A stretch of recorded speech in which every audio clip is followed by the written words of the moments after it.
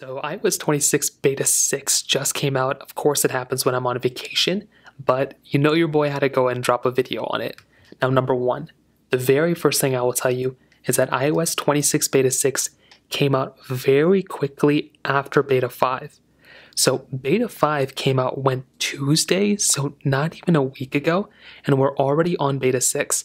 This is exactly what I'm talking about, what we need from Apple we need Apple to go through and kind of push out these types of software updates super fast. I don't want to wait like three weeks for updates in between. Apple needs to just kind of fail fast and drop these types of updates, and that's exactly what they're doing right now.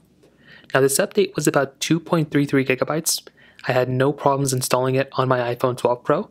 It came out pretty normally. You can see it says this beta gives preview of upcoming apps, features, and technologies. So, just gave us some kind of roundabout things, but this update actually brought a lot of stuff to the table. Number one, you know when you kind of update your phone and you're trying to look for things and you can't really find anything that they change, you just kind of, you know, look online and see what they changed and look at those features after. This was one of the rare updates where I noticed an improvement before I even looked at the release log online or saw people talking about it. There is a new way Apple basically goes through and opens up these applications. So when you kind of look at it, it might not look like oh, over the thing that it's like a big difference, but these applications load up, at least get onto the screen much faster than before. So that was something that was very surprising. There's a new animation.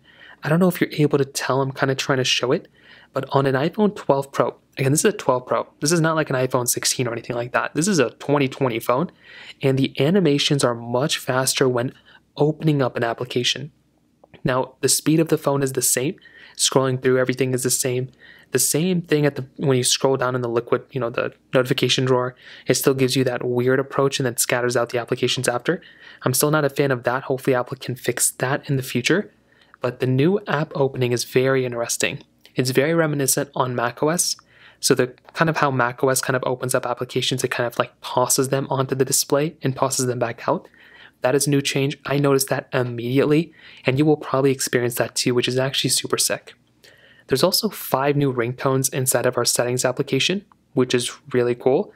I think one of them sounds really nice. I think people are really happy about these. So there are some new ones here, which is actually very cool.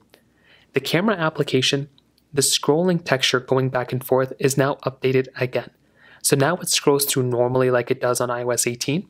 So Apple was trying to do something new. I don't even know what they were trying to do earlier, but now they changed back and reverted back to the older type of layout, which I'm way more of a fan of.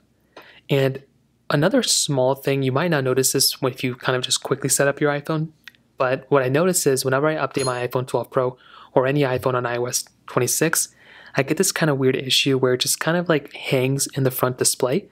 This time it didn't glitch up. The main, you know, setup screen was actually pretty normal and it didn't have any glitches. There were some slow times, but and also sometimes when you actually go through and type in the passcode on some applications, it's kind of crooked, so it's never like in the middle.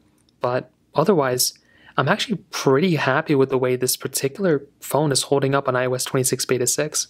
It's been like an hour or something that I've been able to kind of mess around with it.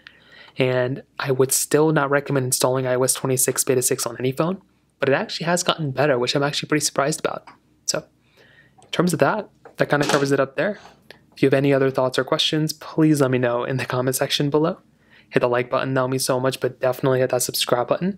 More importantly than everything else, I love every single one of you guys. Hopefully I'll catch you guys in the next video. Peace out till then.